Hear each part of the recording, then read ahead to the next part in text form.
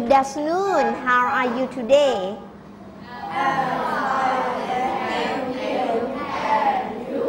I'm very well, thank you. Sit down. All right, good. Okay, all students of Wangkai School and in the other classroom, I say again, good afternoon. Good afternoon, the students of Wangkai School in English class in Pathom 6. And good afternoon, the teachers and all students in the other classroom or in the other school who are studying with us of Wangkai School or who are watching TV of Wangkai School too. The student or student in the classroom and in the classroom. Uh, when you study English, you should practice speaking, reading, listening, and writing. Okay, four skill. And now when I keeping with you ขณะที่คุณครูกำลังสอนนักเรียน หรือกำลังสนทนากับนักเรียน หรือกำลังทักทายกับนักเรียน นักเรียนต้องต้องทักทายกับคุณครูไหมคะ หรือทักทายกับเพื่อนกันเลยอ่าเพราะมันมีบางคู่กำลังนั่งทักทายกันอยู่ เพราะฉะนั้นเดี๋ยวมาทักทายคุณครูฟังนะคะอะโอเค everybody when you meet uh, the student or friends in the other classroom you keep train and invite your friend in the other classroom to eat English class. You say good afternoon good afternoon. You maybe say good afternoon. You understand? You understand? Good afternoon or good afternoon. Different about voice มันอาจจะแตกต่างกันในเรื่องของอะไรลูก การออกเสียง ไม่ต้องตกใจว่าเป็นคำคำเดียวกันไหมลูก นักเรียนสวัสดีคุณครูว่า good afternoon teacher ใช่ไหมคะ good afternoon teacher แต่คุณครูก็บอก good afternoon students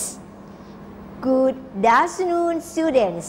different about voice อาจจะแตกต่างในเรื่องเสียง แต่ความหมายเหมือนกันไหมลูก อ่า โอเค you study in ปฐม six you can hear about I said นักเรียนคงได้ยินเวลาคุณครูพูดกับนักเรียน ครูอาจจะมีการเสียงริงกิ้งกันนิดหน่อยนะคะไม่ต้องตกใจเหมือนกันนะลูก โอเค you study English in the last hour on today วันนี้เราจะเรียนภาษาอังกฤษเป็นชั่วโมงสุดท้ายของของวันนี้ใช่ไหมคะ the last hour H O U R เราไม่ออกเสียง how เราไม่ออกเสียงตัวแรกตัวแรก คือตัว H เราไม่ออกเสียง ใช่ไหมคะ นั่นเลยสังเกต H O U R หมายถึงชั่วโมง แล้วออกเสียง hour again hour hour เราไม่ออกเสียงเป็น how เราออกเสียงเป็น hour เอ่อ the last hour very good we study English in the last hour we study English in the last hour very good เห็นไหมคะ เวลาเรียนภาษาอังกฤษต้องฝึกออกเสียงด้วย ถ้านั่งเฉยๆ เอ๊คุณครูออกคนเดียว นักเรียนก็ฟังอย่างเดียว ถ้าเรียนไม่ฝึก นักเรียนออกเสียงไม่ถูกต้องนะคะ นี่คือพวกเรามาเรียนภาษาอังกฤษในชั่วโมงสุดท้ายของวันนี้ เป็นไงอากาศเป็นไงวันนี้ ลอง talk together about the weather เรามาคุยในเรื่อง we talked we talk คือการคุยนะเราคุยเราพูดคุยกัน we talk together เรามาคุยด้วยกัน about the weather เรามาคุยเรื่องกันเกี่ยวกับเรื่องอะไรคะ อากาศ weather หมายถึง โอ้โห หันไปดูเพื่อนอีกคนกำลังทำไมลูก ปล่อยมุกเลยทำไมคะเออเกิดอาการง่วงนอนแล้วมันง่วงนอนไม่ได้ลูกเดี๋ยวหนูต้องคุยกับคุณครูนะถ้าพูดถึงเรื่องอากาศลูก แล้วพูดถึงสภาพอากาศทั่วไป เราจะถามว่าอากาศเป็นอย่างไร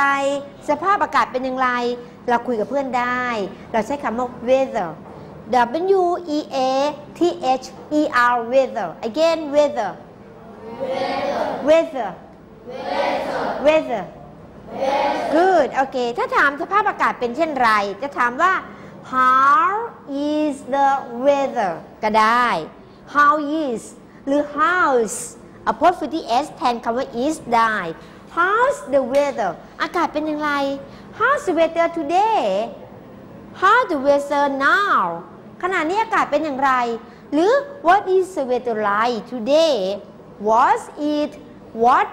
is the weather like today หรือ what's the weather like today วันนี้อากาศเป็นอย่างไร อากาศเป็นเช่นไร วันนี้อากาศอย่างไรลูก โอ้โห วันนี้ร้อนมากเลย บอกคุณครูสิเป็นยังไงลูก It's very hot วันนี้มันร้อนมาก It's so hot โอ้โห มันร้อนเหลือเกิน It's sunny แดดจ้าเลย แต่คุณครูว่าเมฆเริ่มมาแล้ว มีเมฆมาปกคลุมแล้วใช่ไหมคะ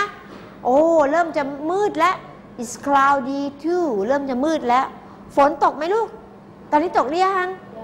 ยังไม่ตกแต่คาดคะเนว่าตกไหมลูก อาจจะตก ถ้าเราบอกอคำว่าอาจจะนั่ใช้คำได้เลยได้ลูก อาจจะ เอ๊ะ อาจจะ maybe again maybe maybe is maybe rain in the afternoon